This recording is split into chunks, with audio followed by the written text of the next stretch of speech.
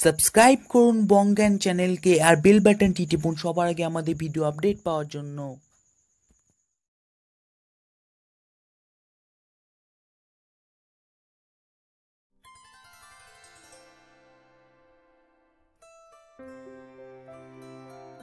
আজ মহাপণ্ডিত চাণক্যের দুটি শ্লোকের ব্যাখ্যামূলক আলোচনা করব।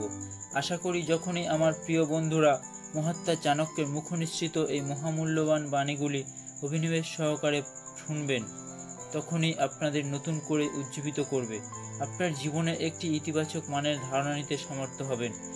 এই ভিডিওটি প্রথম থেকে শেষ পর্যন্ত দেখার জন্য অনুরোধ করছি। নমস্কার বন্ধুরা, আমি কৌশিক আপনাদের সঙ্গে। আপনারা দেখছেন বঙ্জ্ঞান চলুন শুরু করা যাক। বড় মেক গুণীপুত্র ন চ মূর্খ শতানপ্পি একশো চন্দস্তম হন্তি ন চ তারা সহস্র। এটিকে বাংলায় অনুবাদ করলে দেখা যাবে। একশো মূর্খ পুত্র থেকে একটি গুণী পুত্র ভালো। চন্দ্র একাই অন্ধকার দূর করতে পারে, কিন্তু এক হাজার তারা সমবেতভাবে তা করতে পারে না।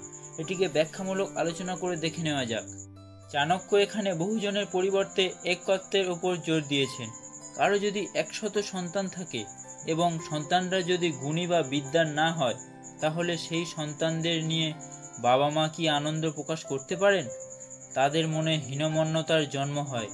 আর যদি একটি মাত্র গুণী পুত্র জন্মায়, তার বিদ্যা বুদ্ধি বলে দশ দিক আলোকিত করে, তাহলে মাতা পিতার মনে অশেষ আনন্দ এবং গৌরবের উদ্ভব হয়।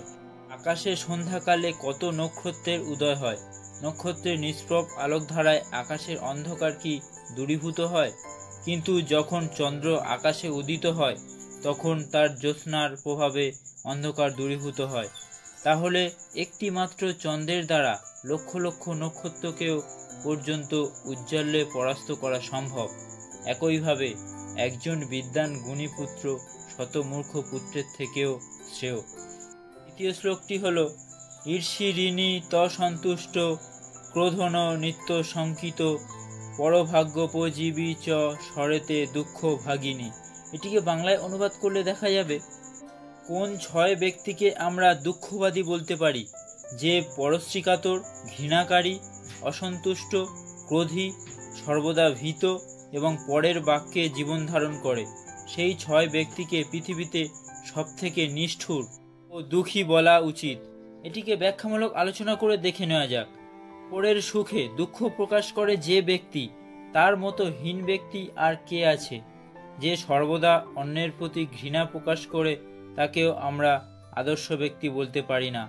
যে সর্বদা অসন্তুষ্ট হয়, অর্থাৎ সন্তুষ্টি শব্দের মানে জানে না, তাকেও পরিহার করে চলা উচিত। যার মনের মধ্যে ক্রোধের জন্ম হয়, সেই ব্যক্তিকেও আমরা আমাদের মনের ভিতর স্থান দেব না। যে ব্যক্তি অজানা, অচেনা ভয়ে শঙ্কিত অবস্থায় জীবন কাটায়, তার মতো দুঃখী আর কে আছে? যে মানুষ অপরের ওপর নির্ভর করে জীবন নির্বাহ করে, তাকেও নিঃস্ব রিক্ত মানুষ বলা উচিত। আজ এখানেই শেষ করছি। আগামী ভিডিও দেখার জন্য সাবস্ক্রাইব করুন ও পাশের বেল বাটনটি প্রেস করে অল নোটিফিকেশান বারে ক্লিক করুন। আপনার এই ভিডিওটি ভালো লাগলে অবশ্যই একটি লাইক করবেন এবং শেয়ার করে আপনার বন্ধুবান্ধবদের জানিয়ে দেবেন।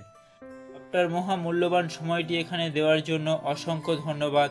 আপনার দিনটি শুভ হোক।